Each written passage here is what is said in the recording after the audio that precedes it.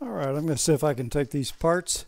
This 16 inch wheel, it's got a uh, bearing in there, 5 8 inch ID bearing in there. And uh, these miscellaneous parts, a piece of 5 8 threaded rod, nuts, washers, spacers.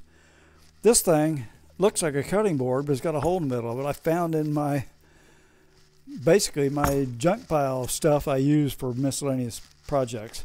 So don't even remember where it came from we'll see if we can make a lazy Susan type turntable that heavy duty enough for me to stand on and spin around doing gyroscope experiments. So we'll give it a try. Well, guess what? It worked. Let me show you what I did. See if I can see this. Got the threaded rod running through this wood. Um, underneath this flat washer here, it's 5 8 flat washer. Actually, it's a three quarter inch flat washer. I wanted a large one to spread the load out here, and a 5 8 inch, uh, just a regular nut. Now, a little hard to see if this getting focused down there. Got a uh, two flat washers. One's a 5 8 and one's a 3 quarter just to help spread that load out.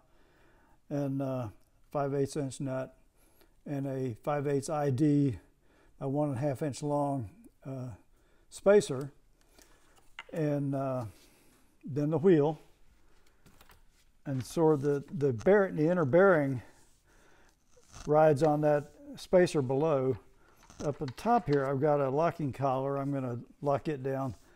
And uh, it seems to work. So I'm going to see if it can handle my load of me standing on it without falling off and uh, we'll see what happens.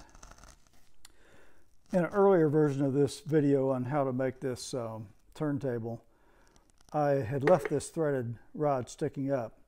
Now I realized after using it, that's not a good idea. It is a tripping hazard. So I've cut the rod off, even split the nut and tried to get it down to where it's uh, about flush with the edges of the tire. So you can't ever be totally safe standing on something like a spinning wheel, but uh, that will at least re reduce the uh, tripping hazard issue. So we'll give this a try and see how it works. We've got our turntable made with the cut off threaded rod. If you happen to watch an earlier version of this video with the threaded rod sticking up and make one, I would go ahead and recommend cutting that off. It really reduces the chance of a tripping hazard here. Now you got to be careful standing on any wheel that's turning around, but this does spin good. Let's see how it does with my weight. Does pretty good. We'll try it with a spinning bicycle wheel. Okay, we're going to check out our turntable with a spinning bicycle wheel.